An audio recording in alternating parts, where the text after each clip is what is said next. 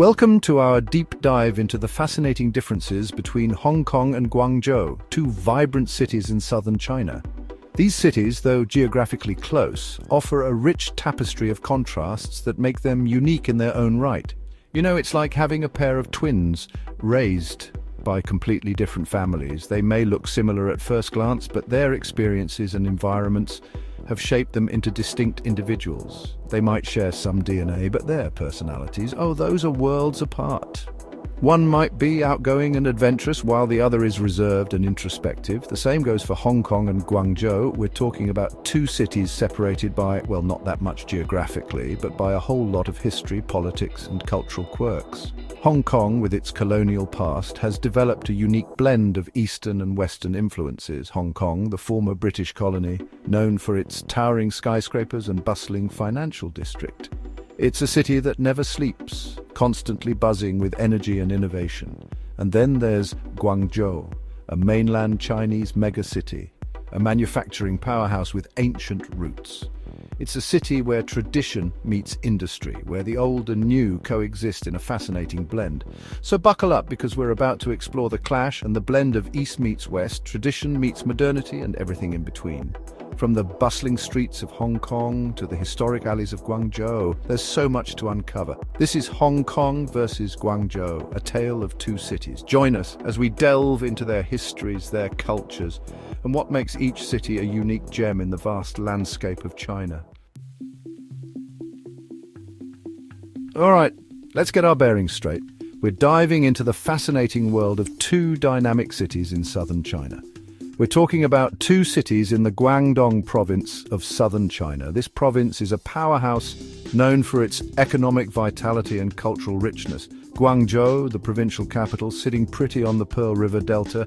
This city is a bustling metropolis, a blend of ancient traditions and modern skyscrapers. It's a hub for trade, finance and culture, making it one of the most important cities in China. And then there's Hong Kong, a special administrative region clinging to the coast, just a hop, skip and a jump away.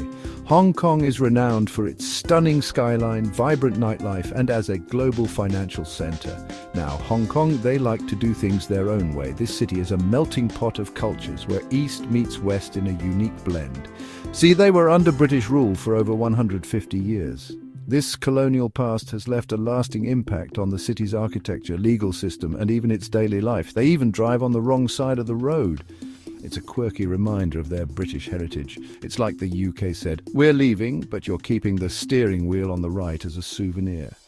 This little detail adds to the city's unique charm. They returned to China in 1997 under this one country, two systems deal. This agreement allows Hong Kong to maintain a high degree of autonomy, Basically, they get their own mini-government, their own laws, their own currency. This system is designed to preserve Hong Kong's way of life and its economic and social systems. It's like that friend who still uses Venmo when everyone else is on Cash App.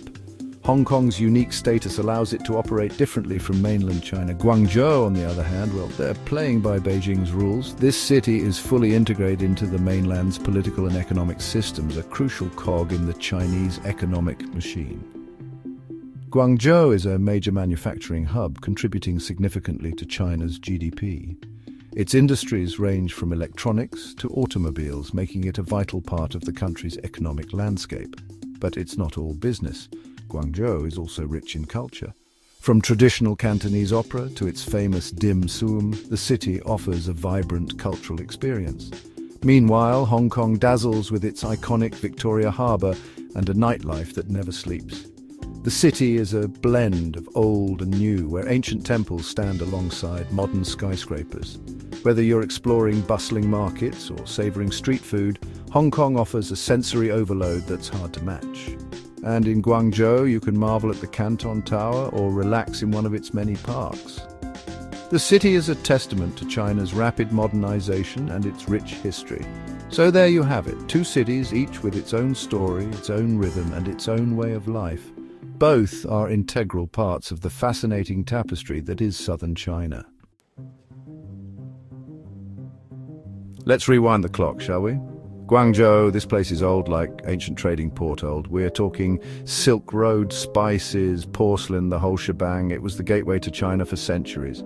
Then the Brits sailed in with their tea addiction and, well, things got a little complicated. They saw Hong Kong, this little island, and thought perfect spot for a cuppa and some trade. Fast forward through opium wars and colonial rule and boom! Hong Kong becomes this international financial hub, a fusion of East and West. Meanwhile, Guangzhou kept doing its thing, manufacturing everything under the sun. You want it, they make it.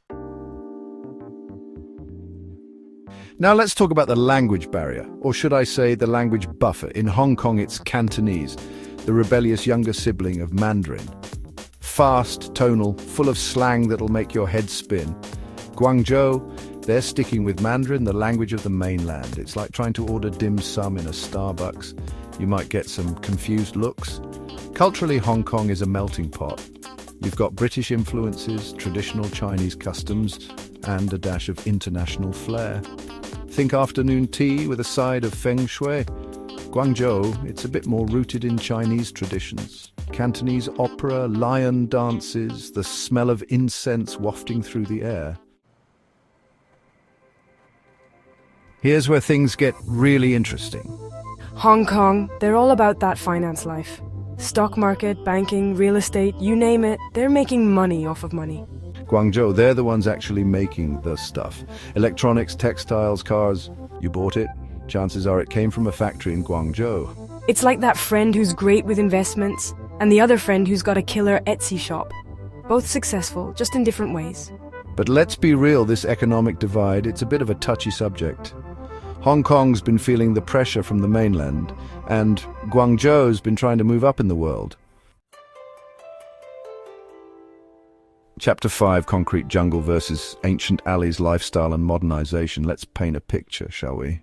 Hong Kong, it's a vertical city. Skyscrapers reaching for the heavens, tiny apartments stacked on top of each other. It's like a game of Tetris, but with rent you can't afford. Guangzhou, it's sprawling, a mix of old and new. You've got your modern skyscrapers, but also ancient temples and traditional neighborhoods. Life in Hong Kong is fast-paced, efficient, expensive. Think Tokyo with a side of dim sum. Guangzhou, it's a bit more laid back, affordable, and steeped in tradition. Chapter 6 Freedom's Price Governance and Liberty. In this chapter, we delve into the intricate balance between governance and liberty, a topic that has shaped societies and sparked debates for centuries. Now, this is where the differences get real. The contrast between Hong Kong and Guangzhou is stark, almost like night and day. Hong Kong, they enjoy freedoms that are, well, let's just say they're not exactly common on the mainland. Freedom of speech, freedom of the press, and the ability to express oneself without fear of retribution. You can even protest the government without, you know, disappearing. This freedom to voice dissent is a cornerstone of their society. Guangzhou, they're playing by a different set of rules. The bustling city operates under the watchful eye of the central government. The Communist Party is in charge, and they don't take too kindly to dissent. The government maintains strict control over the flow of information and public discourse. It's like that friend whose parents let them do whatever they want, and the friend who has to be home by 9 p.m. The difference in governance styles is palpable and affects every aspect of daily life. This difference in freedoms, it's a major point of tension. The people of Hong Kong are acutely aware of the liberties they stand to lose. Hong Kongers, they're fighting to hold on to their liberties, while Beijing's been tightening its grip. The struggle is not just about political control, but about preserving a way of life that values individual freedoms and rights. The roots of this tension can be traced back to the handover of Hong Kong from British to Chinese rule in 1997. Promises were made about maintaining a high degree of autonomy, but the reality has been more complex. For many in Hong Kong, the fight for freedom is not just political, it's deeply personal. It's about preserving their identity, their culture, and their future. As we continue to explore the dynamics between governance and liberty, it's clear that the price of freedom is often high, but for many, it's a price worth paying. Chapter 7 Tourist trap or cultural gem? Exploring the cities. All right, enough about politics. Let's talk tourism. Hong Kong, it's a shopper's paradise. Designer boutiques, bustling markets, you can find anything and everything. Plus, the food scene? Forget about it.